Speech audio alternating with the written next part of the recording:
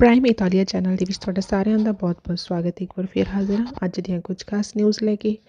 ਇਸ ਤੋਂ ਪਹਿਲਾਂ ਕਿ ਆਪਾਂ ਵੀਡੀਓ ਸ਼ੁਰੂ ਕਰੀਏ, ਜੇਕਰ ਤੁਸੀਂ ਚੈਨਲ ਤੇ ਪਹਿਲੀ ਵਾਰ ਆਏ ਹੋ ਜਾਂ ਪਹਿਲੀ ਵਾਰ ਸੁਣ ਰਹੇ ਹੋ, ਤਾਂ ਪਲੀਜ਼ ਚੈਨਲ ਜ਼ਰੂਰ ਸਬਸਕ੍ਰਾਈਬ ਕਰ ਲਓ ਤੇ ਵੀਡੀਓ ਨੋਟੀਫਿਕੇਸ਼ਨ ਲਈ ਬੈਲ ਆਈਕਨ ਦਾ ਬਟਨ ਵੀ ਜ਼ਰੂਰ ਪ੍ਰੈਸ ਕਰ ਲਓ, ਤਾਂ ਕਿ ਜਦੋਂ ਵੀ ਅਸੀਂ ਨਵੀਂ ਵੀਡੀਓ ਅਪਲੋਡ ਕਰੀਏ, ਉਹਦੀ ਨੋਟੀਫਿਕੇਸ਼ਨ ਤੁਹਾਡੇ ਤੱਕ ਪਹੁੰਚ ਜਾਵੇ। ਅਤੇ ਹੁਣ ਆਪਾਂ ਸ਼ੁਰੂ ਕਰਦੇ ਹਾਂ ਅੱਜ ਦੀਆਂ ਕੁਝ ਖਾਸ ਨਿਊਜ਼ ਸਭ ਤੋਂ ਪਹਿਲਾਂ ਆਪਾਂ ਦੇਖਦੇ ਹਾਂ ਇਟਲੀ ਇਟਲੀ ਦੇ ਵਿੱਚ ਪਿਛਲੇ 24 ਘੰਟਿਆਂ ਦੇ ਵਿੱਚ 907 ਕੇਸਿਸ ਆਏ ਹਨ ਤੇ 24 ਡੈਥ ਹੋਈਆਂ ਹਨ ਕੋਵਿਡ ਦੀ ਵਜ੍ਹਾ ਦੇ ਨਾਲ।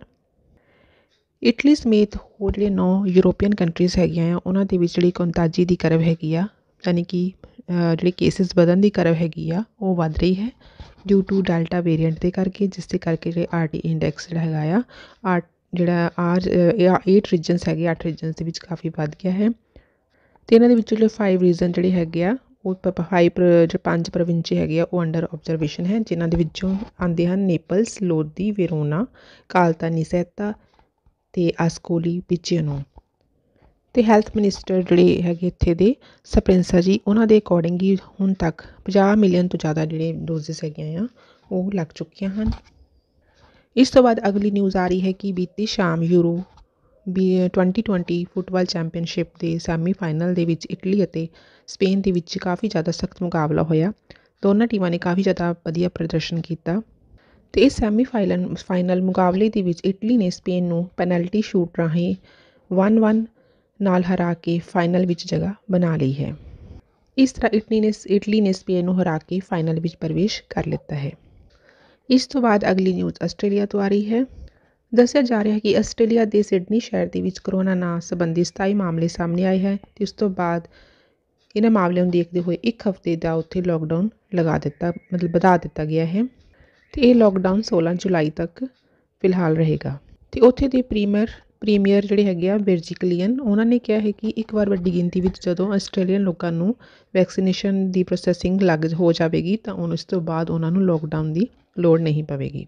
ਅਤੇ ਇਸ ਤੋਂ ਬਾਅਦ ਅਗਲੀ ਨਿਊਜ਼ ਆ ਰਹੀ ਹੈ ਆਸਟ੍ਰੇਲੀਆ ਦੇ ਵਿੱਚ 40 ਸਾਲ ਤੋਂ ਘੱਟ ਉਮਰ ਦੇ ਲੋਕ ਸਤੰਬਰ ਜਾਂ ਅਕਤੂਬਰ ਦੇ ਕਰੀਬ ਫਾਈਜ਼ਰ ਜਾਂ ਮੋਡਰਨਾ ਕਰੋਨਾ ਵਾਇਰਸ ਜਿਹੜੀ ਵੈਕਸੀਨ ਹੈਗੀ ਆ, ਲਗਵਾ ਸਕਣਗੇ। ਇਸ ਤੋਂ ਬਾਅਦ ਅਗਲੀ ਨਿਊਜ਼ ਆ ਰਹੀ ਹੈ ਕਿ ਵਰਲਡ ਦੇ ਵਿੱਚ ਸਭ ਤੋਂ ਜਿਹੜਾ ਸ਼ਕਤੀਸ਼ਾਲੀ ਪਾਸਪੋਰਟ ਦੀ ਸਾਲ 2021 ਦੇ ਵਿੱਚ ਜਿਹੜੀ ਰੈਂਕਿੰਗ ਕੀਤੀ ਗਈ ਹੈ, ਉਹਦਾ ਰਿਜ਼ਲਟ ਆ ਗਿਆ ਹੈ ਅਤੇ ਇਸ ਸੂਚੀ ਦੇ ਵਿੱਚ ਜਾਪਾਨ ਨੂੰ ਸਭ ਤੋਂ ਜ਼ਿਆਦਾ ਪਹਿਲਾ ਨੰਬਰ ਮਤਲਬ ਕਿ ਸਰਵਉੱਚ ਸਥਾਨ ਮਿਲਿਆ ਹੈ ਅਤੇ ਇਸ ਤੋਂ ਬਾਅਦ ਸਿੰਗਾਪੁਰ ਨੂੰ ਦੂਜਾ, ਜਰਮਨੀ ਨੂੰ ਅਤੇ ਦੱਖਣੀ ਕੋਰੀਆ ਨੂੰ ਸੰਯੁਕਤ ਰੂਪ ਨਾਲ ਤੀਜਾ ਸਥਾਨ ਮਿਲਿਆ ਹੈ ਅਤੇ ਸਭ ਤੋਂ ਸ਼ਕਤੀਸ਼ਾਲੀ ਪਾਸਪੋਰਟ ਦੀ ਸੂਚੀ ਵਿੱਚ ਚੀਨ ਅਤੇ ਸੰਯੁਕਤ ਅਰਬ ਅਮੀਰਾਤ ਨੇ ਜ਼ੋਰਦਾਰ ਛਲਾਂਗ ਲਗਾਈ ਹੈ। ਉੱਥੇ ਹੀ ਸਭ ਤੋਂ ਖਰਾਬ ਪੋਸਟ ਪਾਸਪੋਰਟ ਦੇ ਵਿੱਚ ਅਫਗਾਨਿਸਤਾਨ ਦਾ 116ਵਾਂ ਨੰਬਰ ਯਾਨੀ ਕਿ ਆਖਰ, ਆਖਰੀ ਸਥਾਨ ਮਿਲਿਆ ਹੈ ਅਫਗਾਨਿਸਤਾਨ ਨੂੰ। ਸੀਰੀਆ, ਇਰਾਕ ਤੇ ਪਾਕਿਸਤਾਨ ਹਨ। ਇਹਨਾਂ ਨੂੰ ਆਖਰੀ ਸਥਾਨ ਮਿਲੇ ਹਨ ਅਤੇ ਭਾਰਤ ਨੂੰ ਇਸ ਤਾਜ਼ਾ ਸੂਚੀ ਦੇ ਵਿੱਚ ਕਾਫੀ ਜ਼ਿਆਦਾ ਝਟਕਾ ਲੱਗਾ ਹੈ ਅਤੇ ਉਹ ਇਸ ਸਥਾਨ ਤੇ 90ਵੇਂ ਨੰਬਰ ਤੇ ਮਤਲਬ ਕਿ 90 ਵਾਂ ਨੰਬਰ ਉਹਨੂੰ ਮਿਲਿਆ ਹੈ। ਇੱਥੇ ਤੁਹਾਨੂੰ ਦੱਸ ਦਈਏ ਕਿਉਂਕਿ ਕਿਸੇ ਵੀ ਦੇਸ਼ ਦੇ ਪਾਸਪੋਰਟ ਦੀ ਜਿਹੜੀ ਤਾਕਤ ਜਾਂ ਰੈਂਕਿੰਗ ਹੈਗੀ ਆ, ਉਹ ਇਸ ਆਧਾਰ ਤੇ ਕੀਤੀ ਜਾਂਦੀ ਹੈ ਕਿ ਉਸ ਦੇ ਜਿਹੜੇ ਹੋਲਡਰ ਹੈਗੇ ਆ, ਉਹ ਬਿਨਾਂ ਪਹਿਲਾਂ ਵੀਜ਼ੇ ਤੇ ਕਿੰਨੇ ਦੇਸ਼ਾਂ ਦੇ ਵਿੱਚ ਸਫ਼ਰ ਕਰ ਸਕਦੇ ਹਨ। ਇਸ ਦਾ ਸਬੰਧ, ਇਸ ਦਾ ਸਿੱਧਾ ਮਤਲਬ ਇਹ ਹੈ ਕਿ ਕਿੰਨੇ ਦੇਸ਼ ਸੰਬੰਧਿਤ ਦੇਸ਼ ਦੇ ਨਾਗਰਿਕਾਂ ਨੂੰ ਆਪਣੇ ਵੀਜ਼ੇ ਆਨਲਾਈਨ ਅਰਾਈਵਲ ਦੀ ਸੁਵਿਧਾ ਦਿੰਦੇ ਹਨ। ਵੀਜ਼ਾ ਔਨ ਅਰਾਈਵਲ ਜ਼ਿਆਦਾਤਰ ਜ਼ਿਆਦਾ ਜਿਹੜੀ ਫਰੈਂਡਲੀ ਦੇਸ਼ ਹੁੰਦੇ ਹਨ ਇੱਕ ਦੂਜੇ, ਉਹਨਾਂ ਨੂੰ ਦਿੱਤਾ ਜਾਂਦਾ ਹੈ, ਜਿੱਥੇ ਨਾਗਰਿਕਾਂ ਅਤੇ ਉਹਨਾਂ ਦੇਸ਼ ਨੂੰ ਕੋਈ ਖਤਰਾ ਨਾ ਹੋਵੇ। ਅਤੇ ਇਹ ਸਾਰਾ ਜਿਹੜਾ ਡਾਟਾ ਹੈ ਇੰਟਰਨੈਸ਼ਨਲ ਏਅਰ ਟਰਾਂਸਪੋਰਟ ਐਸੋਸੀਏਟ ਦਾ ਇਹ ਦਿੰਦੀ ਹੈ। ਤੇ ਜਾਪਾਨੀ ਪਾਸਪੋਰਟ ਧਾਰਕਾਂ ਨੂੰ ਦੁਨੀਆ ਦੇ 193 ਦੇਸ਼ਾਂ ਦੇ ਵਿੱਚ ਵੀਜ਼ਾ ਫ੍ਰੀ ਜਾਂ ਵੀਜ਼ਾ ਆਨਲਾਈਨ ਅਰਾਈਵਲ ਦੀ ਸੁਵਿਧਾ ਹੁੰਦੀ ਹੈ। ਤੇ ਦੂਜੇ ਸਥਾਨ ਤੇ ਸਿੰਗਾਪੁਰ ਹੈ। ਤੇ ਅਮਰੀਕਾ ਤੇ ਬ੍ਰਿਟੇਨ ਸੱਤਵੇਂ ਸਥਾਨ ਤੇ ਹੈ। ਇਸ ਦਾ ਮਤਲਬ ਇਹ ਹੈ ਕਿ ਅਮਰੀਕਾ ਬਿ, ਬ੍ਰਿਟੇਨ ਦੇ ਨਾਗਰਿਕਾਂ ਨੂੰ ਦੁਨੀਆ ਦੇ 185 ਦੇਸ਼ਾਂ ਦੇ ਵਿੱਚ ਵੀਜ਼ਾ ਫ੍ਰੀ ਐਕਸੈਸ ਦੀ ਸੁਵਿਧਾ ਪ੍ਰਦਾਨ ਹੈ ਅਤੇ ਜਰਮਨ ਦੇ ਜਿਹੜੇ ਹੈਗੇ ਆ ਉਸ ਨੂੰ 191 ਦੇਸ਼, ਦੇਸ਼ਾਂ ਵਿੱਚ ਵੀਜ਼ਾ ਫ੍ਰੀ ਐਕਸੈਸ ਦੀ ਸੁਵਿਧਾ ਪ੍ਰਦਾਨ ਹੈ। ਅਤੇ ਇਸ ਤਾਜ਼ਾ ਸੂਚੀ ਦੇ ਵਿੱਚ 2020 ਦੇ ਮੁਕਾਬਲੇ ਭਾਰਤ 6ਵੇਂ ਸਥਾਨ ਤੋਂ ਮਤਲਬ ਕਿ ਹੋਰ ਵੀ ਨੀਚੇ ਆ ਗਿਆ ਹੈ 6 ਸਥਾਨ ਛੱਡ ਕੇ ਮਨ ਕਿ 90ਵੇਂ ਸਥਾਨ ਤੇ ਪਹੁੰਚ ਗਿਆ ਹੈ ਅਤੇ ਭਾਰਤੀ ਨਾਗਰਿਕਾਂ ਨੂੰ ਸਿਰਫ 58 ਦੇਸ਼ਾਂ ਦੇ ਵਿੱਚ ਹੀ ਵੀਜ਼ਾ ਦੇਸ਼ ਬਿਨਾਂ ਵੀਜ਼ਾ ਦੇ ਹੀ ਪ੍ਰਵੇਸ਼ ਦਿੰਦੇ ਹਨ।